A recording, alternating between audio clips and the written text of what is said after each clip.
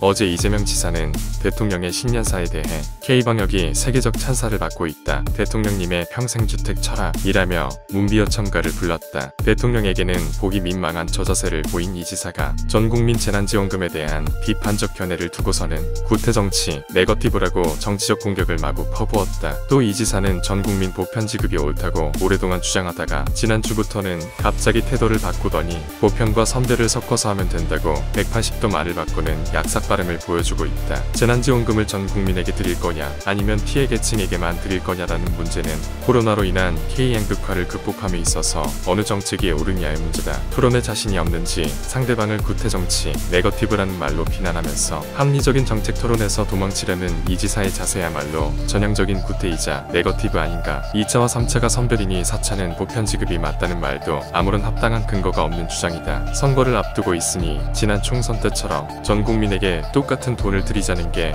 매표행위가 아니면 무엇인가. 이 지사는 우리나라의 국가 재정이 지나치게 건전하다고 했다. 아마 이런 생각 때문에 재난지원금을 50번, 100번 줘도 괜찮다는 황당한 말도 했을 것이다. 그러나 문재인 대통령, 민주당, 이 지사 모두 건전한 국가 재정에 대해 고마워해야 한다. 지금 이 코로나 위기를 극복할 수 있는 힘도 우리의 건전한 국가 재정이 있음을 잊지 마시라. 사실 대통령이나 이 지사가 악성 포퓰리즘에 마음껏 빠져들면서 국민 세금을 함부로 쓸 때 속으로 믿는 구석도 건전한 국가 재정 아니었던가. 우리나라의 과도한 가계부채가 지나치게 건전한 국가 재정 때문이라는 이 지사의 말도 지나치다. 가계부채의 상당 부분이 주택 때문임을 안다면 집값과 전월세를 안정시키는 것이 가계부채를 줄이는 첩경임을 알고 실패한 부동산 정책에 그 책임을 물을 일이다. 이 지사는 기초생활수급자도 굶지 않는 마당에 훔치지 않으면 굶을 수밖에 없는 분들이 경기도의 먹거리 그냥 드림 코너에 줄을 서고 계신다고 했다. 바로 저런 어려운 분들을 위해 돈을 쓰지 않고 왜 모든 경기도민에게 또 10만원씩 드린다는 말인가. 코로나 양극화 시대의 법은 코로나 경제 위기로 가장 고통받는 분들에게 국가가 도움의 손길을 빠짐없이 내미는 것이다. 전 국민에게 드릴 것이 아니라 내가 일관되게